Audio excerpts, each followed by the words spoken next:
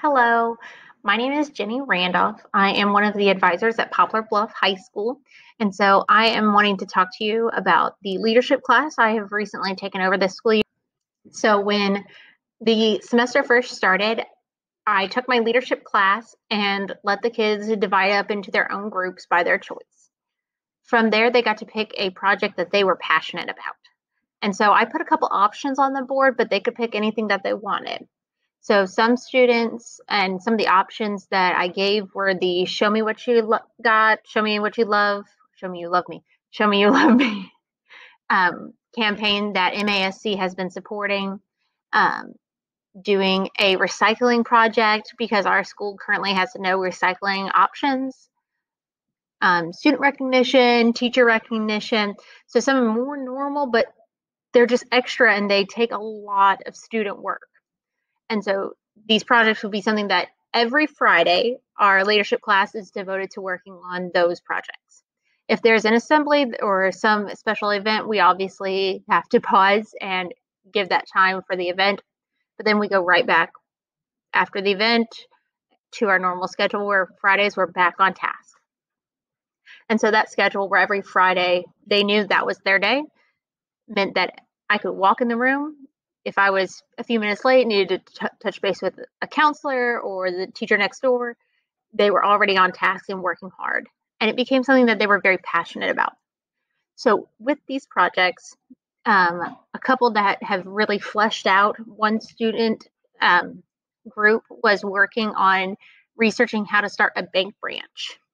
And so we have been working with the finance director for our district, which is huge for me just because that's much higher than my very lowly position of teacher. and then the kids thought it was really cool because we were able to get this assistant superintendent in the room and we were talking to other schools and banks and what it was going to take. So the students first gave a presentation for that to even the superintendent. And what was fun about these projects were the students got to set their own goals and what the project should look like by the end of the semester.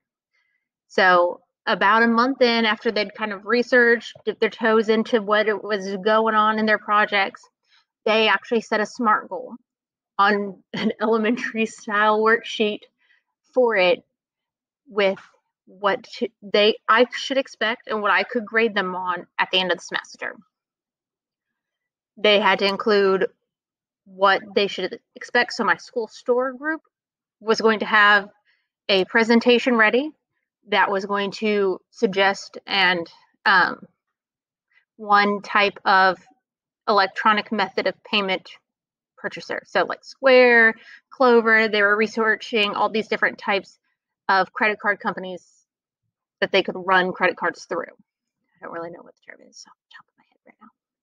And so then they went and they presented that to the finance director as well. And whether she chose to follow through and with their choice and their suggestion was not part of their grade, but their presentation, having the research that was thorough, um, and just taking that initiative is where a lot of their grade came in. From there, students had to figure out how to clean out the store, get that space ready. And so we had bunch of different projects going on all at once. We had a total of six projects going on in one classroom at a time, and each one was a huge project. One group was doing an advisory curriculum, bank branch, the school store. Um, we also had the Show Me You Love Me campaign, um, teacher recognition. There was only five. So apparently there was only five. But each of these groups were having to work very hard to make sure that their project was fleshed out by the end of the semester. By the end of their semester, after they've reached their SMART goal, we got to pause, reflect as a group, reflect a small group. So they talked with me and then their personal group after presenting to the class what they did. And we talked about, okay, is this all you need to do? What would be our next step? And so for our school store group, we got to sit down and say, okay, we need to go further into this. We need to finish getting this ready. How soon can we get the store open? And so they actually set the date a month from the start of the second semester that they wanted the school store open. And so for our entire second semester, we've had the entire leadership class pitching in on Fridays, helping flesh out each other's projects. So our first one that we finished fleshing out was the school store, which opened on our homecoming day. And so from there, they got to really pull each other together and then they got to lead their class. So it started leading just research, knowing what they were doing, becoming confident in themselves, leading in a presenting style, showing that they knew what they were talking about, and then getting to lead their classmates.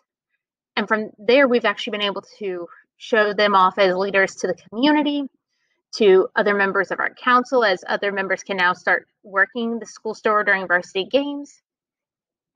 And so we're hoping to see that kind of follow through with our other leadership projects. Um, we've started contacting other student councils to see what if anybody else has a school bank, because that group is ready to start really fleshing things out. The Show Me You Love Me campaign has their first event for our school planned and is ready to jump in with that with our counseling center helping them. They're going to be doing a Hope Week where they highlight different mental illnesses and make sure everybody feels like they are not alone. Um, the student that has been doing teacher appreciation is teaming up with FTA or Future Teachers of America, and they are he is going to be working really hard to make sure that every teacher feels loved. And he already has the leadership class on board for helping him a couple Fridays to write every single teacher in the entire school, which we have 77 teachers, not including additional staff in our building. And everyone is getting a letter of appreciation and recognition. And then the last project that we're really trying to finish fleshing out this year is our advisory curriculum. And that is all student led. And so we have one student who's she's got a goal and she just needs a little help finishing out and fleshing those details. And so her classmates are going to be helping her over the next couple months finish that before the end of the school year. It's been really fun watching the kids not only adopt their little projects, become familiar with them, start caring and really becoming passionate, but now leading an entire class.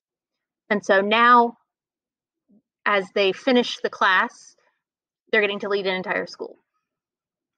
Before I go, I do want to show you a little bit about our school store, since that's the first leadership project that was fully fleshed out, and let you experience a little bit of our school too. Welcome to our school store. So way back when they first built our new building, they decided to get let all of the staff name our school store and the room that they had set aside for what would eventually become our school store.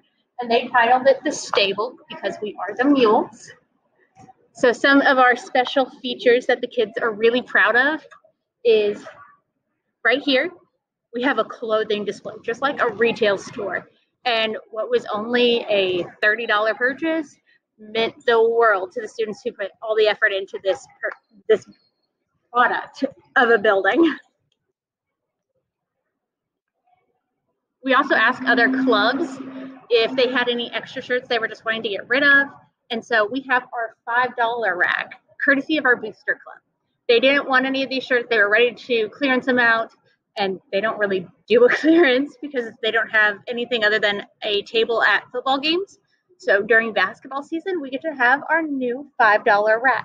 So one special feature of our school store is this side window, which when we first got in there, we were like, what are we ever going to do with this random window that people can see if we have trash in the bag? But our entrepreneurship class has worked very closely with us, and we were actually able to sell student made t-shirts. So the students designed these in school, made them in school, and now their class is actually getting some of the profit.